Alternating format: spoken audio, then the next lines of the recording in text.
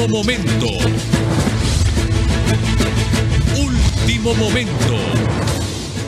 Grecia Mejía que ha dicho en su cuenta de Twitter y ya hemos confirmado que sí, porque hay con, ahora tenemos que confirmar si realmente es la cuenta de determinado político, en este caso de Ricardo Álvarez, que ha dicho en su cuenta de Twitter Ricardo Álvarez, lo más reciente. Bueno, ha escrito, felicito a Rey Sánchez, a Reinaldo Sánchez, por mantener al partido en el diálogo.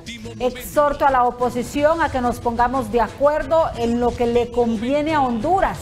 Pero los acuerdos políticos no le dan de comer al pueblo. Pongámonos de acuerdo y empecemos por sacar a la empresa Energía de Honduras, la EEH. EEH fuera ya, hasta hashtag EEH fuera ya. Y esto lo ha dicho el vicepresidente del país. El vicepresidente, pues, la figura es designado presidencial, que es lo, casi lo, mismo. El designado presidencial Ricardo Álvarez. El último párrafo me ha llamado la atención, hemos confirmado si realmente él lo ha escrito. Dice, pero los acuerdos políticos no le dan de comer al pueblo. Pongámonos de acuerdo y empecemos por sacar a la empresa de energía Honduras, de Honduras Empresa de Energía Honduras fuera ya.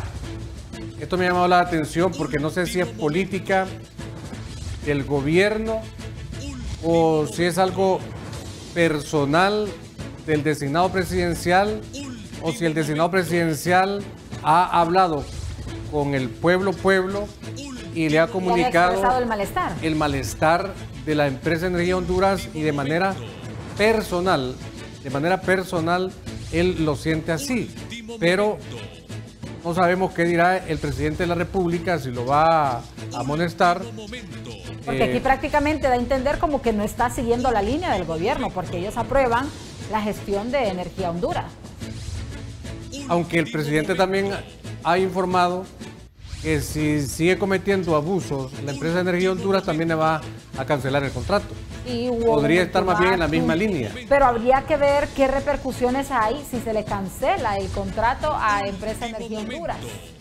Bueno, tenemos en la línea telefónica al designado presidencial eh, Ricardo Álvarez, eh, confirmando que sí, usted escribió eh, en su cuenta de Twitter. Muy buenas. Sí, muchas gracias. nuestros dos amigos, Pablo y Cecia, que nos escuchan y el pueblo hondureño en general. Mira, claro que frío y, reconfirmo hoy en la noche que mantengo mi posición en ese aspecto. Vivimos en un Estado de Derecho.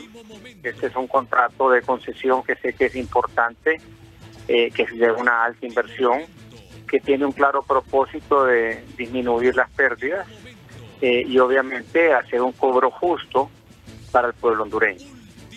Hasta ahí estoy bien. Eh, lo que no puedo estar bien es aceptar el reclamo masivo en todos los pueblos, en todos los municipios de nuestro país, de una serie de injusticias en el alto costo y cobro que se ha venido dando en los últimos días, semanas y meses al respecto. Usted lo dijo, el, presidente también reclamó al respecto.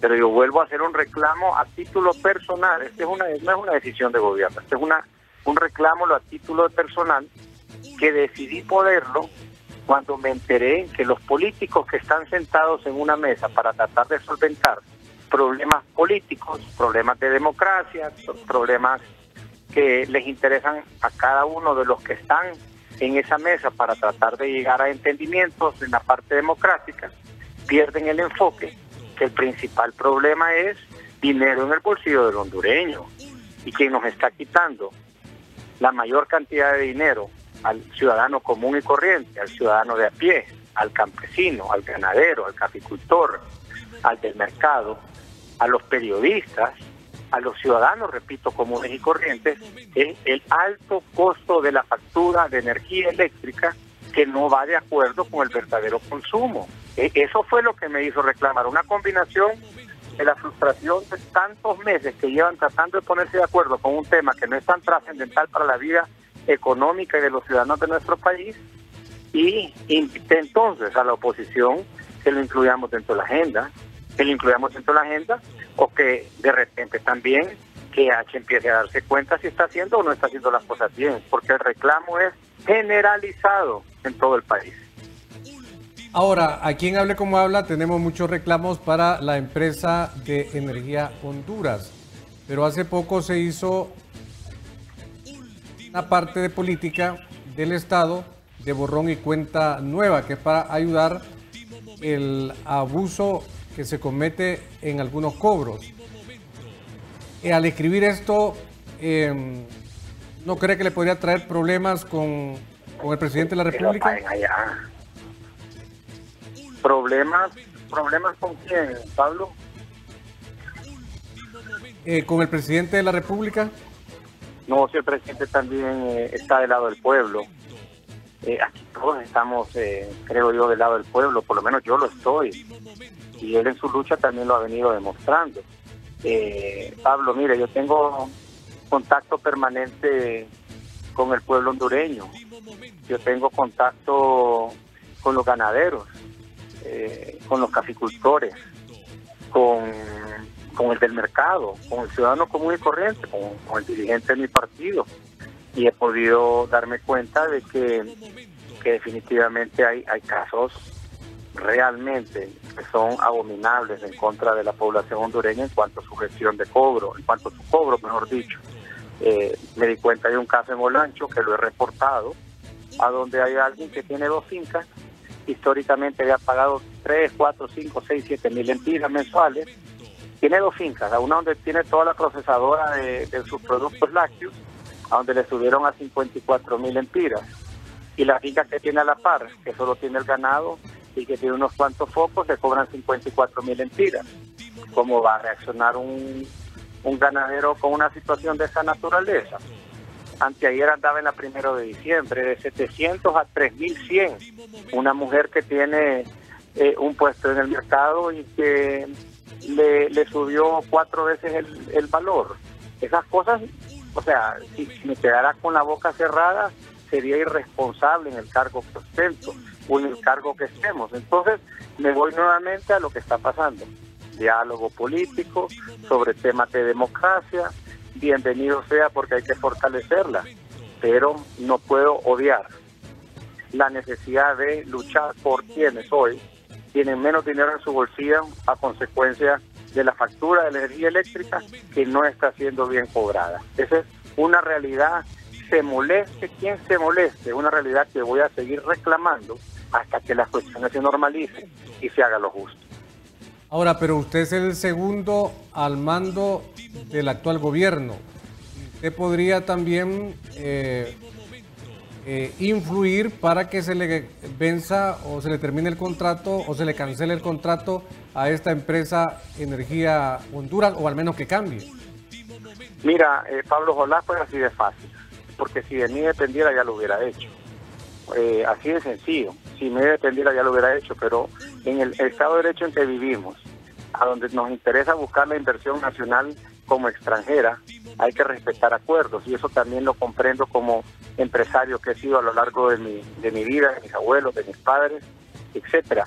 Pero, pero, pero cuando un contrato afecta los intereses de un pueblo, hay que revisarlo, hay que reconsiderarlo, hay que hacerle cambios para asegurarnos de que no piensen solventar el problema de la Empresa Nacional de Energía Eléctrica haciendo estos cobros, también cuando ha habido por años, por décadas, un mal manejo de la empresa estatal de energía eléctrica y que tengan los déficits que tiene al respecto, que son arriba de los 10 mil millones de mentiras, y entonces le pasemos la factura al pueblo. No, yo no puedo estar de acuerdo con eso, Pablo. Hay otros esquemas para buscarlos, pero no es cobrando más de la cuenta a los hondureños que hoy, que nos están viendo por televisión, te garantizo que más de la mitad del pueblo tiene apagadas las luces de su casa, los focos de su casa, porque si no la factura va a venir realmente abultada. Ahora, ya por último, consulto, introducirla en un punto del actual diálogo me parece que no sería correcto porque son otros puntos que están tocando, pero usted quisiera consultarle al pueblo, ¿esta consulta cómo sería? ¿A través de un plebiscito o un referéndum? No, mira, yo, más eh, lo dije anteriormente eh, a, a, la oposición, obviamente a mi partido, primero que todo a mi partido de la oposición, que nos pongamos de acuerdo en las cosas que beneficien al pueblo. Y si esto es algo que beneficia al pueblo, hay que revisarlo. O sea, eh, si lo quieres poner en, en la mesa esta que está en la ONU, ahí como que las cosas no prosperan. Por más voluntad que ha demostrado el gobierno, el presidente Hernández y también el Partido Nacional en sentarse a hablar, quienes pareciera que no tienen interés en la oposición. Esa es la realidad de las cosas. Quien lo ha visto, ha visto claramente que quienes quieren destruir este proceso de diálogo es la oposición, que tiene intereses claros políticos al respecto.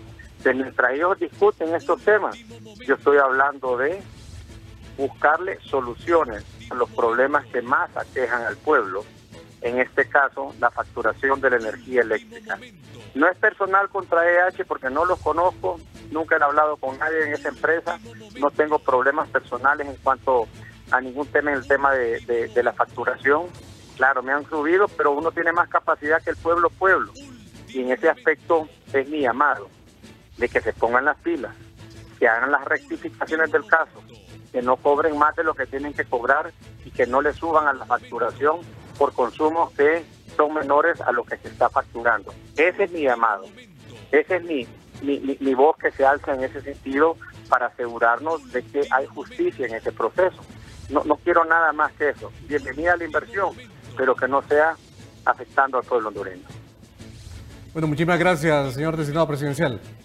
Muchas gracias a ustedes. Bueno, saquemos las cinco llamadas telefónicas que piensa el pueblo. Ahora, eh, el, el lunes llegué a la casa y solamente pude el primer pie y se fue la energía eléctrica. Después regresó